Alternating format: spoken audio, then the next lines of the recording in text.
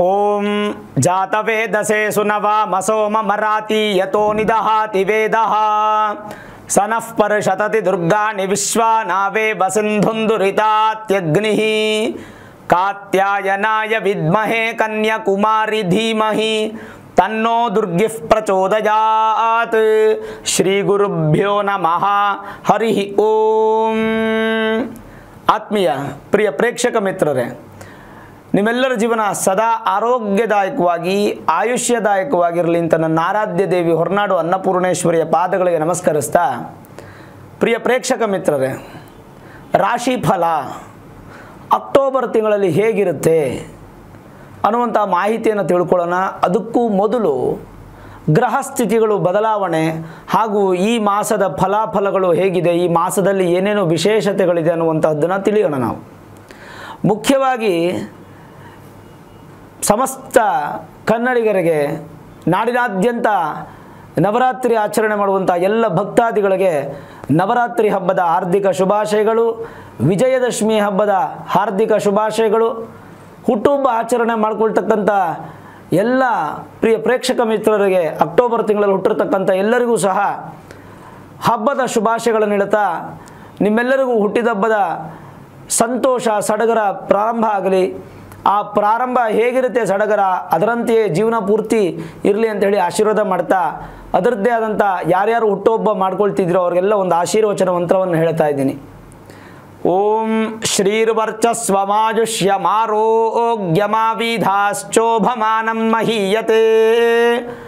ಧಾನ್ಯಂ ಧನಂ ಪಶುಂ ಬಹುಪುತ್ರ ಲಾಭಂ ಶತಸಂವತ್ಸರಂ ದೀರ್ಘಮಾಯು ಜನನ ದಿನ ಸಂತೋಷ ಸಮೃದ್ಧಿ ಸಿದ್ಧಿರಸ್ತು, ಉತ್ತಮ ಜೀವನ ಪ್ರಾಪ್ತಿರಸ್ತು. ಹಾಗಾಗಿ ಯಾರ್ಯಾರು ಹುಟ್ಟುಹಬ್ಬ ಆಚರಣೆ ಮಾಡ್ಕೊಳ್ತಿದ್ರು, ಎಲ್ಲರಿಗೂ ಒಳ್ಳೆಯದಾಗಲಿ ಹಾಗೆ ಯಾರ್ಯಾರು ವಿವಾಹ ವಾರ್ಷಿಕೋತ್ಸವವನ್ನು ಆಚರಣೆ ಮಾಡ್ಕೊಳ್ತಾ ಇದ್ದೀರಾ, ನಿಮಗೂ ಸಹ ಒಳ್ಳೆಯದಾಗಲಿ ಅಂತ ಪ್ರಾರ್ಥನೆ ಮಾಡ್ತಾ, ಪ್ರತಿಯೊಬ್ಬರು ಜೀವನದಲ್ಲಿ ಸುಖ, ಖುಷಿ, ಸಂತೋಷ ಎಲ್ಲವೂ ನಿಮಗೆ ಸಿಗಬೇಕು. ಅದೇ ಮುಖ್ಯವಾಗಿರ್ತಕ್ಕಂಥ ವಿಚಾರ. ಸರಿ, ಹಾಗಾದರೆ ನಾವು ಈ ಮಾಸದ ವಿಶೇಷಗಳ ಬಗ್ಗೆ ತಿಳ್ಕೊಂಬಿಡೋಣ. ಮೊದಲನೇದಾಗಿ ನಮಗೆ ನಾಲ್ಕನೇ ತಾರೀಕು, ಅಂದರೆ ಅಕ್ಟೋಬರ್ ನಾಲ್ಕನೇ ತಾರೀಕು, ಅವತ್ತಿನ ದಿನ ಪ್ರದೋಷ ಇದೆ. ಸೋಮವಾರದ ದಿನ ಪ್ರದೋಷ ಬಂದರೆ ಅದನ್ನು ಸೋಮ ಪ್ರದೋಷ ಅಂತ ಹೇಳ್ತೀವಿ.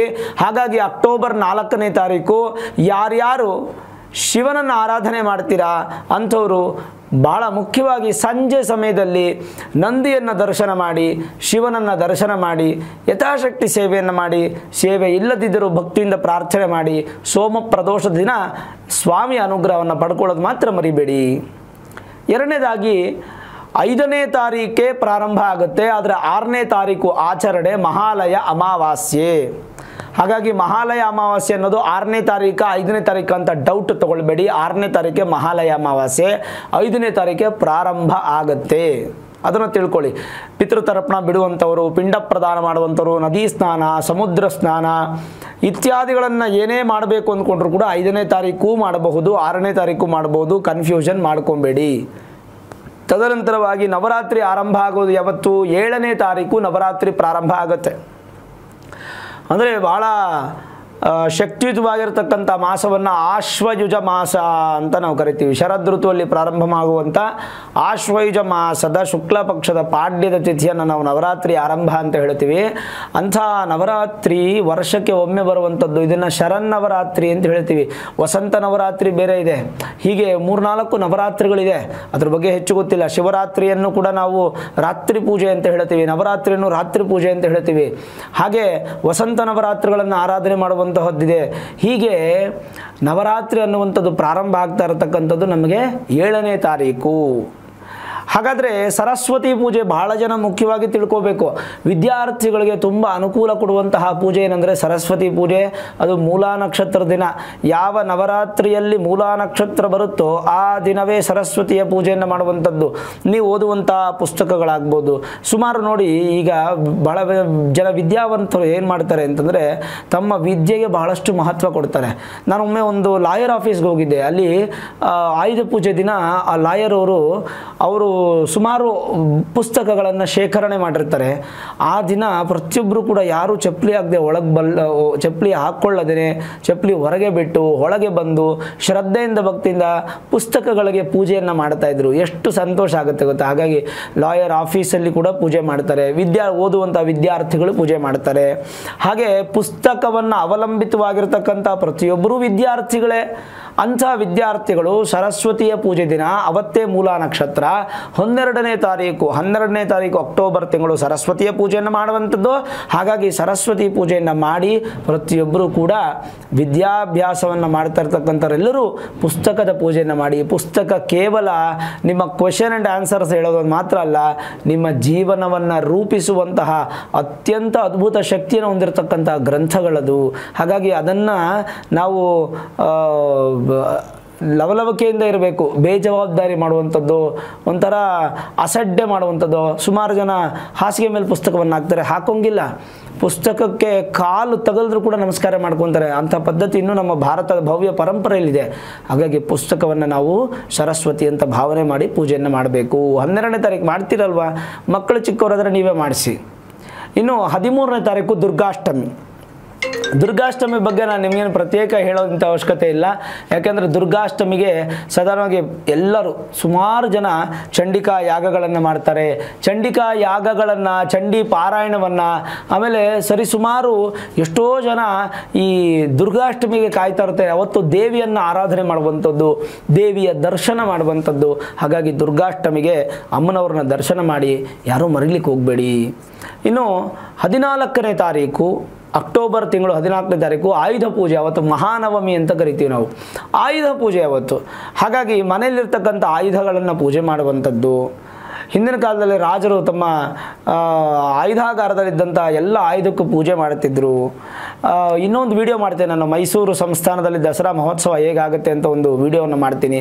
ಯಾವತ್ತಿವತ್ತು ಏನು ಮಾಡ್ತಾರೆ, ಹೇಗೆ ಮಾಡ್ತಾರೆ, ಹೇಗಿರುತ್ತೆ, ಅದರದ್ದು ಸಂಪೂರ್ಣ ಮಾಹಿತಿಯನ್ನು ನಾನು ಕೊಡ್ತೀನಿ. ನಾಡದೇವತೆ ಚಾಮುಂಡೇಶ್ವರಿಗೆ ಹೇಗೆ ಅದನ್ನು ಸಲ್, ತಲುಪಿಸ್ತಾರೆ, ಬನ್ನಿ ಮರದ ಪೂಜೆ ಹೇಗೆ ಮಾಡ್ತಾರೆ, ಅವೆಲ್ಲವನ್ನು ನಾನು ಒಂದು ವಿಡಿಯೋಲಿ ಮಾಡಿ ನಿಮಗೆ ತಿಳಿಸ್ತೀನಿ. ಅದು ಅತ್ಯಂತ ಶೀಘ್ರವಾಗಿ ನಾನು ನಿಮಗೆ ಕೊಡ್ತೇನೆ.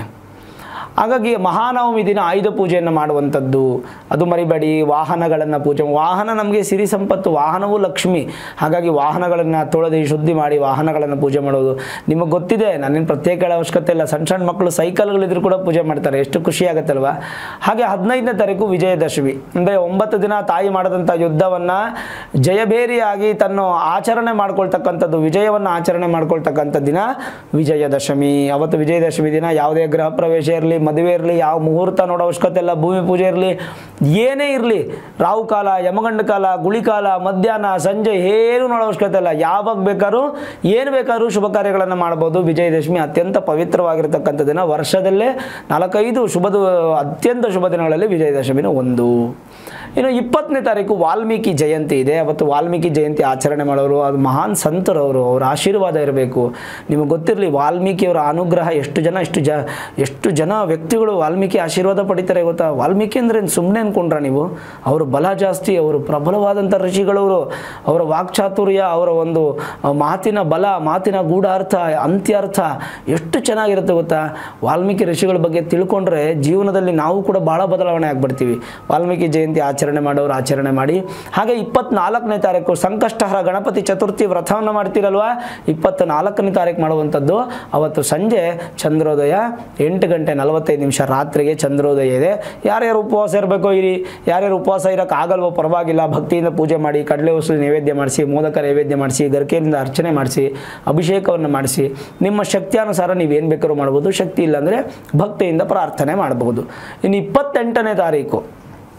ವರ್ಷಕ್ಕೆ ಒಮ್ಮೆ ದರ್ಶನ ಕೊಡುವಂತಹ ಮಹಾತಾಯಿ ಹಾಸನಾಂಬೆ ದರ್ಶನ ಪ್ರಾರಂಭ ಆಗುವಂಥದ್ದು ಇಪ್ಪತ್ತೆಂಟನೇ ತಾರೀಕು ಅಕ್ಟೋಬರ್ ತಿಂಗಳಲ್ಲಿ.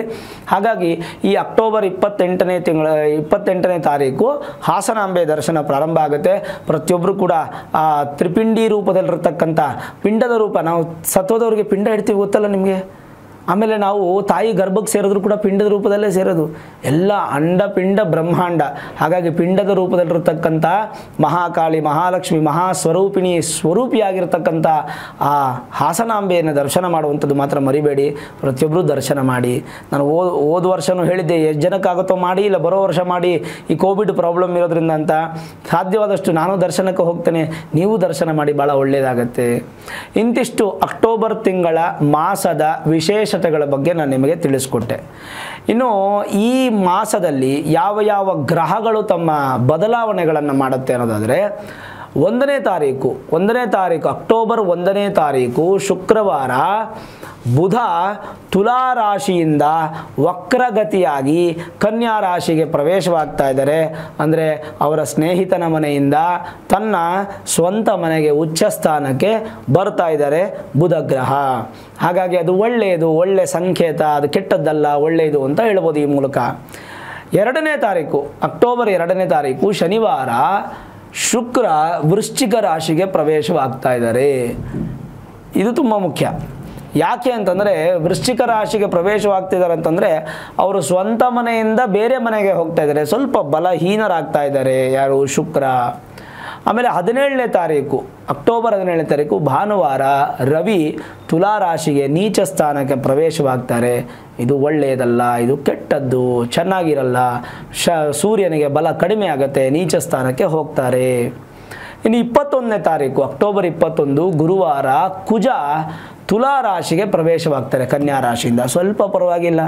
ಒಂದು ಹಂತಕ್ಕೆ ತುಲಾ ರಾಶಿಗೆ ಪ್ರವೇಶವಾಗ್ತಾರೆ ಶುಕ್ರ ಕನ್ಯಾ ರಾಶಿಗಿಂತ ತುಲಾ ರಾಶಿಯಲ್ಲಿ ಒಳ್ಳೆ ಬಲವಾಗೇ ಇರ್ತಾರೆ ಕಂಪ್ಯಾರಿಟಿಬಲ್ ಟು ಕನ್ಯಾ ರಾಶಿ ಭಾಳ ಮುಖ್ಯವಾಗಿ ಮೂವತ್ತನೇ ತಾರೀಕು, ಒಂದೇ ತಿಂಗಳಲ್ಲಿ ಶುಕ್ರ ಎರಡು ಮನೆಯನ್ನು ಬದಲಾವಣೆ ಮಾಡ್ತಾ ಇದ್ದಾರೆ. ಶುಕ್ರ ಧನುಸು ರಾಶಿಗೆ ಪ್ರವೇಶವಾಗ್ತಾ ಇದ್ದಾರೆ. ಮೂವತ್ತನೇ ತಾರೀಕು, ಅಕ್ಟೋಬರ್ ಮೂವತ್ತನೇ ತಾರೀಕು ಧನುಸು ರಾಶಿಗೆ ಪ್ರವೇಶವಾಗ್ತಾ ಇದೆ. ಇಂತಿಷ್ಟು ಗ್ರಹಗಳ ಬದಲಾವಣೆಯ ಸ್ಥಿತಿಗತಿಗಳನ್ನು ನಾವು ನೋಡಿಕೊಂಡ್ವಿ. ಸಿಂಹರಾಶಿ. ಹಾಗಾದರೆ ಅಕ್ಟೋಬರ್ ತಿಂಗಳಲ್ಲಿ ಸಿಂಹರಾಶಿಯವರಿಗೆ ಹೇಗಿರುತ್ತೆ? ಈಗಾಗಲೇ ಗುರುಬಲ ಅನ್ನೋದು ಹೋಯಿತು ಸಿಂಹರಾಶಿಯವರಿಗೆ. ಗುರುಬಲ ಇಲ್ಲ. ಓಲಿ ಶನಿ ಆದರೂ ಬಲವಾಗಿದೆ ಅಂದರೆ ಶನಿಗೂ ಬಲ ಇಲ್ಲ. ಯಾವುದೇ ಗ್ರಹ ಹತ್ತನೇ ಮನೆಯಲ್ಲಿದ್ದರೆ ತನ್ನ ಫಲ ಉತ್ತಮವಾಗಿ ಕೊಡುತ್ತೆ ಅಂತ ಹೇಳ್ತೀವಿ. ಆಗ ಹತ್ತನೇ ಮನೆಯಲ್ಲಿ ರಾಗು ಇರೋದ್ರಿಂದ ಒಂದು ಒಳ್ಳೆಯ ಫಲ. ನಾಲ್ಕನೇ ಮನೆಯಲ್ಲಿ ಕೇತು.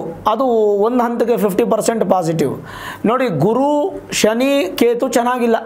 ಆಯಿತಾ? ಸರಿ, ರಾಶಿಯಿಂದ ಎರಡನೇ ಮನೆಯಲ್ಲಿ ಕುಜ ಇದ್ದಾರೆ. ಕುಜ ದೋಷ ಇದೆ ನಿಮಗೀಗ. ಅಕ್ಟೋಬರ್ ತಿಂಗಳಲ್ಲಿ ಕುಜ ದೋಷ ಇದೆ, ಇಪ್ಪತ್ತೊಂದನೇ ತಾರೀಕುವರೆಗೂ ಅದಾದಮೇಲೆ ಇಪ್ಪತ್ತೊಂದು ಆದಮೇಲೆ ತುಲಾರಾಶಿಗೆ ಕುಜ ಹೋದರೂ ಕೂಡ ಅಲ್ಲಿ ಬಲವಾಗಿಲ್ಲ. ಕುಜನೂ ಚೆನ್ನಾಗಿಲ್ಲ, ಸಿಂಹರಾಶಿಯವ್ರಿಗೆ. ಸರಿ, ಸೂರ್ಯ ರಾಶಿಗೆ ಅಧಿಪತಿ ಅಂತ ಸೂರ್ಯ ಚೆನ್ನಾಗಿದ್ದಾನ ಅಂತಂದರೆ ಹದಿನೇಳನೇ ತಾರೀಕುವರೆಗೂ ಸೂರ್ಯ ಎಕ್ಸಲೆಂಟ್ ಪೊಸಿಷನಲ್ಲಿ ಇರ್ತಾರೆ.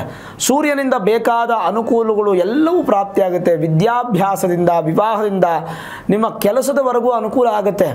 ಎಸ್ಪೆಷಲಿ ಗೌರ್ಮೆಂಟ್ ಉದ್ಯೋಗ ಮಾಡೋಂಥವ್ರು ಗೌರ್ಮೆಂಟ್ ಜೊತೆ ವ್ಯವಹಾರ ಮಾಡುವಂಥವ್ರು ರಾಜಕಾರಣಿಗಳು ಇವ್ರಿಗೆಲ್ಲರಿಗೂ ಕೂಡ ತುಂಬ ಚೆನ್ನಾಗಿರುತ್ತೆ. ತಂದೆ ಮಗನ ಸಂಬಂಧ, ಕುಟುಂಬದ ಜೊತೆ ಸಂಬಂಧ, ಹೆಂಡತಿ ಗಂಡನ ಜೊತೆ ಸಂಬಂಧ, ಮಕ್ಕಳ ಜೊತೆ ಸಂಬಂಧ ಇತ್ಯಾದಿಗಳೆಲ್ಲ ತುಂಬ ಚೆನ್ನಾಗಿ ಹೋಗ್ತಾ ಇರುತ್ತೆ. ಆದರೆ ಹದಿನೇಳನೇ ತಾರೀಕು ನಂತರ ನೆಗೆಟಿವ್ ದಾರಿಗೆ ಹೊಟ್ಟೋಗ್ಬಿಡುತ್ತದು ಹಾಗಾಗಿ ಹದಿನೇಳನೇ ತಾರೀಕುವರೆಗೂ ಸಿಂಹರಾಶಿಯವರಿಗೆ ಬಲವೋ ಬಲ. ಅದಾದ ನಂತರ ಬಲಹೀನರಾಗ್ತಿರೋ ಕಾರಣ ನಿಮ್ಮ ರಾಶಿಗೆ ಅಧಿಪತಿಯಾದಂಥ ಸೂರ್ಯ ತನ್ನ ನೀಚ ಸ್ಥಾನವಾದಂಥ ತುಲಾ ರಾಶಿಗೆ ಪ್ರವೇಶ ಮಾಡಿಬಿಡ್ತಾರೆ. ಹದಿಮೂರು ದಿನ ಚೆನ್ನಾಗಿರಲ್ಲ. ಅಂದರೆ ಅಕ್ಟೋಬರಲ್ಲಿ ಹದಿನೇಳು ದಿನ ಚೆನ್ನಾಗಿರುತ್ತೆ, ಹದಿಮೂರು ದಿನ ಚೆನ್ನಾಗಿರಲ್ಲ. ಹಾಗಾಗಿ ಸೂರ್ಯ ಶಾಂತಿ ಮಾಡುವಂಥದ್ದು ಭಾಳ ಒಳ್ಳೆಯದು ಭಾನುವಾರದ ದಿನ ಯಾವ ಶುಭ ಕೆಲಸಗಳು ಮಾಡಲಿಕ್ಕೆ ಹೋಗಬೇಡಿ. ಭಾನುವಾರ ನಿಮಗೆ ಒಳ್ಳೆಯದಲ್ಲ. ಅಕ್ಟೋಬರ್ ತಿಂಗಳಲ್ಲಿ ಭಾನುವಾರ ಒಳ್ಳೆಯದಲ್ಲ. ಕೃತಿಕಾ ನಕ್ಷತ್ರದಲ್ಲೋ, ಉತ್ತರ ನಕ್ಷತ್ರದಲ್ಲೋ, ಅಂದರೆ ಉತ್ತರ ಫಲ್ಗುನಿ ಅಥವಾ ಉತ್ತರಾಷಾಢ ನಕ್ಷತ್ರದಲ್ಲೋ ಯಾವ ಕೆಲಸವನ್ನು ಮಾಡಲಿಕ್ಕೆ ಹೋಗಬೇಡಿ. ನಾನೀಗಾಗಲೇ ಹೇಳಿದೆ, ಪ್ರದೋಷ ಅನ್ನುವಂಥ ಒಂದು ಪೂಜೆ ಇದೆ. ಯಾವಾಗಂದರೆ ನಾಲ್ಕನೇ ತಾರೀಕು ಸೋಮ ಪ್ರದೋಷ ಬರುತ್ತೆ ಅಂತ ಹೇಳಿದ್ದೀನಿ ನಾನು. ಆ ನಾಲ್ಕನೇ ತಾರೀಕು ಸಿಂಹರಾಶಿಯವರು ಕಂಪಲ್ಸರಿ ನೀವು ಸಂಜೆ ಶಿವನ ದೇವಸ್ಥಾನಕ್ಕೆ ಹೋಗಿ ಪ್ರದೋಷ ಪೂಜೆ ಪಾರ್ಟಿಸಿಪೇಟ್ ಮಾಡಿ, ಸ್ವಾಮಿನ ಪ್ರಾರ್ಥನೆ ಮಾಡಿ ಬರುವಂಥದ್ದು ನಾಲ್ಕನೇ ತಾರೀಕು ನೀವು ಹೋಗೋದ್ರಿಂದ ಮೂವತ್ತನೇ ತಾರೀಕುವರೆಗೂ ಬರುವಂತಹ ಅಡಚಣೆಗಳಲ್ಲೆಲ್ಲ ದೂರ ಆಗುತ್ತೆ, ನಿಮಗೆ ಒಳ್ಳೆ ಫಲ ಸಿಗುತ್ತೆ. ಅದಕ್ಕೆ ಸೋಮ ಪ್ರದೋಷ ಅನ್ನುವಂಥದ್ದು ಬಹಳ ಮುಖ್ಯವಾಗಿರುತ್ತೆ. ಪ್ರದೋಷ ಶಿವನನ್ನು ಆರಾಧನೆ ಮಾಡ್ತಕ್ಕಂಥದ್ದು ಸೂರ್ಯನಿಗೆ ಶಾಂತಿ ಆಗುತ್ತೆ. ತನ್ನ ಮೂಲಕ ಸಿಂಹರಾಶಿಯವರಿಗೆ ಒಳ್ಳೆಯ ಫಲ ಸಿಗುತ್ತೆ. ಆದರೆ ಕುಜನನ್ನು ಬಲ ಮಾಡಲಿಕ್ಕೆ ಆಗಲ್ಲ. ಕುಜ ಚೆನ್ನಾಗಿಲ್ಲ. ಬುಧ ಚೆನ್ನಾಗಿದ್ದಾನೆ. ಬುಧ ನಿಮಗೆ ಫ್ಲೆಕ್ಸಿಬಲ್ ಆಗಿದ್ದಾನೆ. ವಿದ್ಯಾ ಕ್ಷೇತ್ರದಲ್ಲೂ ವ್ಯಾಪಾರ ಕ್ಷೇತ್ರದಲ್ಲೋ, ವ್ಯವಹಾರ ಕ್ಷೇತ್ರದಲ್ಲೋ, ನೀವು ಮಾಡುವಂತಹ ಕೆಲಸಗಳಲ್ಲೋ ಎಲ್ಲದರಲ್ಲೂ ಕೂಡ ಅನುಕೂಲ ಆಗ್ತಾನೆ. ನೋಡಿ ಯಾವ್ಯಾವ ಥರ ಅಂತಂದರೆ ರಿಲೇಟೆಡ್ ಟು ಮನೆ ಕಟ್ಟುವಂಥ ಕೆಲಸಕ್ಕೆ ಬೇಕಾದಂಥ ವಸ್ತುಗಳು, ವ್ಯಾಪಾರ ಎಲ್ಲವೂ ಅಭಿವೃದ್ಧಿ ಆಗುತ್ತೆ ನಿಮಗೆ. ಎಲ್ಲದರಲ್ಲೂ ಸಕ್ಸಸ್ ಕಾಣ್ತೀರಾ? ಆದರೆ ಕುಜ ಮಾತ್ರ ಚೆನ್ನಾಗಿಲ್ಲ. ಭೂಮಿ ರಿಲೇಟೆಡ್ ಆಗಿರೋಂಥ ಪ್ರಾಬ್ಲಮ್ಸಲ್ಲಿ ನಿಮಗೆ ಸಿಕ್ಕಾಕೊಳ್ತೀರಾ ಮೇಲಾಗಿ ನಿಮಗೆ ಸುಖಸ್ಥಾನ ಮತ್ತು ಭಾಗ್ಯಸ್ಥಾನಕ್ಕೆ ಅಧಿಪತಿ ಭಾಗ್ಯಗಳು ಕಡಿಮೆ ಆಗುತ್ತೆ, ಸುಖ ಕಡಿಮೆ ಆಗುತ್ತೆ, ನಿದ್ರೆ ಕಡಿಮೆ ಆಗುತ್ತೆ. ಸಿಂಹರಾಶಿಯವ್ರಿಗೆ ಸ್ವಲ್ಪ ಸ್ಟ್ರೆಸ್ ಜಾಸ್ತಿ ಆಗುತ್ತೆ, ಸ್ವಲ್ಪ ಟೆನ್ಷನ್ ಬೆಂಕಿ ಮೇಲೆ ಕಾಲಿಟ್ರೆ ಹೇಗಾಗುತ್ತೆ? ಒದ್ದಾಡ್ತೀರಾ, ಕುಣಿದಾಡ್ತೀರಾ? ಆ ಥರ ಆಗುವಂಥ ಸಾಧ್ಯತೆ. ಕೆಲವೊಂದು ಜನರಲ್ ಪ್ರೊಡಿಕ್ಷನ್ಸ್ ನೋಡೋದಾದರೆ ದಿಟ್ಟ ನಿರ್ಧಾರಗಳನ್ನು ತೆಗೆದುಕೊಳ್ಳಿ. ಏ, ನಾನು ಮಾಡೋದೇ. ಓವರ್ ಕಾನ್ಫಿಡೆನ್ಸ್ ಅಲ್ಲ ಕಾನ್ಫಿಡೆನ್ಸ್ ದಿಟ್ಟವಾದ ನಿರ್ಧಾರ ತಗೊಳ್ಳಿ.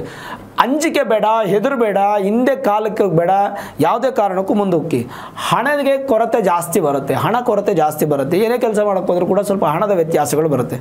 ಕೃಷಿ ಭೂಮಿಯನ್ನು ತಗೊಳ್ಳುವಂಥ ಯೋಗ ಇದೆ, ಪ್ರಯತ್ನ ಪಡಿ, ಬೇಕಾದ್ರೆ ಆಗುತ್ತೆ. ಕೃಷಿಕರಿಗೂ ವ್ಯವಸಾಯ ಮಾಡೋರಿಗೂ ಚೆನ್ನಾಗಿದೆ. ವಿದ್ಯಾರ್ಥಿಗಳು ವಿಶೇಷವಾದಂಥ ಸಾಧನೆಯನ್ನು ಮಾಡುವಂತಹ ಯೋಗ ಯೋಗ್ಯತೆ ನಿಮಗೆ ಸಿಂಹರಾಶಿಯವರಿಗೆ ಪ್ರಾಪ್ತಿ ಇದೆ. ವಿದೇಶಕ್ಕೆ ಹೋಗುವಂಥ ಸಾಧ್ಯತೆ ಇದೆ. ಮೇಲಾಗಿ ಸಂತಾನದ ಯೋಗ ಫಲ ಇದೆ ನಿಮಗೆ. ಅಭಿವೃದ್ಧಿ ಆಗುತ್ತೆ. ಕಲಾವಿದರು ನಿಮ್ಮ ಪ್ರಶಸ್ತಿಯನ್ನು ನೀವು ಪಡ್ಕೊಳ್ತೀರಾ? ಸಕ್ಸಸ್ ಆಗ್ತೀರಾ? ವಿವಾಹಕ್ಕೆ ಅನುಕೂಲ?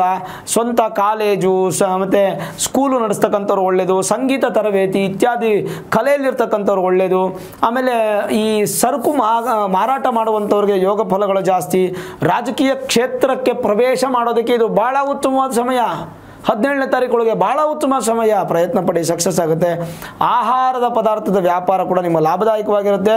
ಸ್ವಲ್ಪ ರೋಗಗಳು, ಆರೋಗ್ಯದ ಬಗ್ಗೆ ಹೆಚ್ಚು ಚಿಂತನೆ ಮಾಡಿ, ಆರನೇ ಮನೆಯಿಂದ ಗುಪ್ತ ರೋಗ, ಸ್ವಲ್ಪ ಡೈಜೆಸ್ಟಿವ್ ಸಿಸ್ಟಮಲ್ಲಿ ತೊಂದರೆ ಆಗೋದು ಯೂರಿನರಿ ಇನ್ಫೆಕ್ಷನ್ಸ್ ಬರೋದು ಸ್ಟೋನ್ಸ್ ಕ್ರಿಯೇಟ್ ಆಗುವಂಥ ಸಾಧ್ಯತೆ, ಉರಿ ಮೂತ್ರದ ತೊಂದರೆ, ಮತ್ತು ಚರ್ಮದ ಕಾಯಿಲೆ ಇದೆಲ್ಲ ಬರುವಂಥ ಸಾಧ್ಯತೆ ಮತ್ತು ನಿಮ್ಮ ಒಂದು ಪರ್ಸನಲ್ ಇಂಪಾರ್ಟೆಂಟು ನಿಮ್ಮ ನಿಮ್ಮ ಪರ್ಸನಲ್ ವಿಚಾರಗಳನ್ನು ಯಾರ ಹತ್ರನೂ ಹೇಳಲಿಕ್ಕೆ ಹೋಗ್ಬೇಡಿ. ನಂಬಿ ಸ್ನೇಹಿತರ ಹತ್ರನೋ, ಕುಟುಂಬದವ್ರ ಹತ್ರನೋ, ಯಾರ ಹತ್ರನೋ ಹೇಳಿದ್ರೆ ಅದು ಎಲ್ಲರಿಗೂ ಗೊತ್ತಾಗ್ಬಿಟ್ಟಿರುತ್ತೆ. ಅದರಿಂದ ನಿಮ್ಗೆ ಒಂದು ಸ್ವಲ್ಪ ಮನಸ್ಸಿಗೆ ಬೇಸರ ಆಗುತ್ತೆ. ಸ್ನೇಹ ದೂರ ಆಗುವಂಥ ಸಾಧ್ಯತೆಗಳು ಜಾಸ್ತಿ ಕಾಣ್ತಾ ಇದೆ. ಆದಾಯದಲ್ಲಿ ಸ್ಥಿರತೆ ಇರುತ್ತೆ ಬಟ್ ದುಡ್ಡು ಕೈಯಲ್ಲಿ ನಿಲ್ಲೋದು ಕಷ್ಟ ಆಗುತ್ತೆ. ಜೊತೆಗೇನಪ್ಪ ಅಂತಂದರೆ ಕೋಪ, ವಾದ, ವಿವಾದ ಇದೆಲ್ಲ ಸ್ವಲ್ಪ ಕಡಿಮೆ ಮಾಡ್ಕೊಳ್ಳಿ.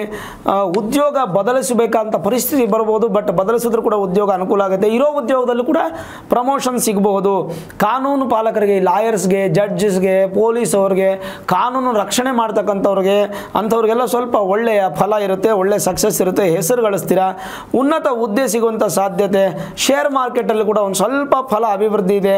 ವೈದ್ಯಕೀಯ ರಂಗದಲ್ಲಿ ಹೊಸ ಸಾಧನೆಯನ್ನು ಮಾಡುವಂಥ ಸಕ್ಸಸ್ ಕಾಣುವಂಥ ಸಾಧ್ಯತೆಗಳು ಜಾಸ್ತಿ ಇದೆ. ಆದಾಯದಲ್ಲಿ ಏರಿಳಿತಗಳಿದ್ದರೂ ಕೂಡ ಬ್ಯಾಲೆನ್ಸ್ ಮಾಡ್ತೀರಾ? ಕೆಪಾಸಿಟಿ ಇದೆ. ಆಮೇಲೆ ನಿಮಗೆ ನಿಮ್ಮ ಒಂದು ಬ್ಯಾಂಕಿನ ಕೆಲಸಗಳೇನಿದೆ, ಅದರಲ್ಲಿ ನಿಮಗೆ ಕಾರ್ಯಪ್ರವೃತ್ತಿ ಜಾಸ್ತಿ ಆಗುತ್ತೆ. ಆಹಾರ ಸಂಬಂಧಪಟ್ಟಂಥ ವಿಚಾರದಲ್ಲಿ ಕೂಡ ತೊಂದರೆ ಇರಲ್ಲ. ಆರೋಗ್ಯದಲ್ಲಿ ಹೆಚ್ಚು ಗಮನ ಕೊಡಿ. ಅದು ಚೆನ್ನಾಗಿರುತ್ತೆ. ಏನು ತೊಂದರೆ ಇಲ್ಲ. ಐ ಟಿ ಬಿ ಟಿ ಉದ್ಯೋಗಿಗಳಿಗೂ ಚೆನ್ನಾಗಿರುತ್ತೆ. ಮೆಟಲ್ ಪ್ರಾಡಕ್ಟ್ಸ್ನ ಅಲಂಕಾರದ ವಸ್ತುಗಳನ್ನ ತಯಾರು ಮಾಡುವಂಥವ್ರಿಗೆಲ್ಲ ತುಂಬ ಚೆನ್ನಾಗಿರುತ್ತೆ. ಆಮೇಲೆ ಈ ತರಕಾರಿ, ಸೊಪ್ಪು, ಹಣ್ಣು ಎಳನೀರು ಈ ಥರದ ವ್ಯಾಪಾರಿಗಳು ಕೂಡ ಚೆನ್ನಾಗಿದೆ. ಬೀದಿ ಬದಿ ವ್ಯಾಪಾರಿಗಳಿಗೂ ಕೂಡ ಚೆನ್ನಾಗಿದೆ ಸಿಂಹರಾಶಿಯವ್ರಿಗೆ. ಏನಪ್ಪ ಅಂದರೆ ಗುರು ಶನಿ ಚೆನ್ನಾಗಿಲ್ಲ. ಕೆಲವೊಂದು ಪರಿಹಾರ ಏನು ಮಾಡ್ಕೊತೀರಾ? ಕುಜನಿಗೆ ಪರಿಹಾರ ಅಂತಂದರೆ ಏನು ಮಾಡ್ಬೋದು? ನಾವು ಸುಬ್ರಹ್ಮಣ್ಯನನ್ನು ಆರಾಧನೆ ಮಾಡುವಂಥದ್ದು ನಾಗದೇವತೆಗಳ ದೇವಸ್ಥಾನಕ್ಕೆ ಹೋಗಿ ಬರುವಂಥದ್ದು, ಮತ್ತು ಏನು ಅರಳಿ ಮರದ ಪ್ರದಕ್ಷಿಣೆಯನ್ನು ಮಾಡುವಂತಹದ್ದು, ಇದೆಲ್ಲ ತುಂಬ ಒಳ್ಳೆಯದು. ನಿಮಗೆ ಸಾಧ್ಯ ಆದರೆ ಈ ರಥಸಪ್ತಮಿಗೆ ನಾವು ಎಕ್ಕದ ಎಲೆನ ಇಟ್ಕೊಂಡು ಸ್ನಾನ ಮಾಡ್ತೀವಲ್ಲ, ಹಾಗೆ ಒಂದು ಎಲೆ ಆದರೂ ತೊಗೊಂಬಂದು ಪ್ರತಿ ಭಾನುವಾರ ತಲೆ ಮೇಲೆ ಇಟ್ಕೊಂಡು ಸ್ನಾನ ಮಾಡಿ. ಪ್ರತಿ ಭಾನುವಾರ. ಒಂದು ನಾಲ್ಕು ಭಾನುವಾರ ಸಿಗುತ್ತೆ ಅಕ್ಟೋಬರ್ ತಿಂಗಳು. ಸೂರ್ಯ ಚೆನ್ನಾಗಿಲ್ಲ ಅಂದಾಗ ನಾವು ಜಾಗೃತಿಯಾಗಿರಬೇಕು ಸೂರ್ಯ ನವಗ್ರಹಗಳ ನಾಯಕ, ಎಲ್ಲ ಗ್ರಹದ ಫಲವನ್ನು ಕೊಡುವಂಥವನು ಹಾಗಾಗಿ ಸೂರ್ಯ ಬಲವಾಗಿಲ್ಲ ಅಂತಂದರೆ ಏನೂ ಬಲ ಇಲ್ಲ ಅಂತ ಅರ್ಥ. ಹಾಗಾಗಿ ನೀವು ರಥಸಪ್ತಮಿಗೆ ಹೇಗೆ ಸ್ನಾನ ಮಾಡ್ತೀರಿ ಎಕ್ಕದಲ್ಲೇ ಇಟ್ಕೊಂಡು, ಹಾಗೆ ಪ್ರತಿ ಭಾನುವಾರ ಒಂದು ನಾಲ್ಕು ಭಾನುವಾರ ಅಕ್ಟೋಬರ್ ತಿಂಗಳಿಗೆ ಒಂದು ಎಲೆಯನ್ನು ತೊಗೊಂಬಂದು ತಲೆ ಮೇಲೆ ಇಟ್ಕೊಂಡು ನೀವು ಸ್ನಾನ, ತಲೆಗೆ ಸ್ನಾನ ಮಾಡುವಂಥದ್ದು ಭಾನುವಾರ ದಿನ. ಭಾಳ ಒಳ್ಳೆಯದು ಭಾನುವಾರ ಯಾವ ಡಿಸಿಷನ್ಸ್ ತೊಗೊಂಬಿಡಿ. ನೆಮ್ಮದಿಗೆ ರಜಾ ದಿನ ಅಂತ ಮನೇಲಿ ಇದ್ಬೇಡಿ, ಯಾವ ಶುಭ ಕಾರ್ಯ ಬೇಡ, ಯಾವ ಕೆಲಸಕ್ಕೂ ಹೋಗಬೇಡಿ. ಭಾನುವಾರ ರೆಸ್ಟ್ ಡೇ ನಾಲ್ಕು ದಿನ ಚೆನ್ನಾಗಿ ರೆಸ್ಟ್ ಮಾಡಿ, ಹೊಟ್ಟೆ ತುಂಬ ಊಟ ಮಾಡಿ ಕಣ್ ತುಂಬ ನಿದ್ದೆ ಮಾಡಿ, ಆರಾಮಾಗಿ ಮನೇಲಿರಿ, ಅದು ನಿಮಗೆ ಒಳ್ಳೆಯ ಫಲ ಕೊಡುತ್ತೆ ವೀಕ್ಷಕರೇ. ಈ ವಿಡಿಯೋ ಇಷ್ಟ ಆಗಿದ್ರೆ ಲೈಕ್ ಮಾಡಿ, ಶೇರ್ ಮಾಡಿ, ಮುಖ್ಯವಾಗಿ ನಮ್ಮ ಚಾನಲ್ಗೆ ಸಬ್ಸ್ಕ್ರೈಬ್ ಮಾಡ್ಕೊಳ್ಳಿ, ಬೆಲ್ ಐಕಾನ್ನ ಪ್ರೆಸ್ ಮಾಡಿ. ಪ್ರತಿನಿತ್ಯ ನಾನು ಪೂಜೆ ಮಾಡುವಂತಹ ನನ್ನ ಆರಾಧ್ಯ ದೇವಿ ಹೊರನಾಡು ಅನ್ನಪೂರ್ಣೇಶ್ವರಿ ಆಶೀರ್ವಾದ ಅನುಗ್ರಹ ಸದಾಕಾಲ ನಿಮ್ಮ ಮೇಲೆ ಇರಲಿ ಅಂತ ಪ್ರಾರ್ಥನೆ ಮಾಡ್ತಾ, ಸರ್ವೇ ಜನಾ ಸುಖಿನೋ ಭವಂತು, ಸಮಸ್ತ ಸನ್ಮಂಗಳ ನಿಭವಂತು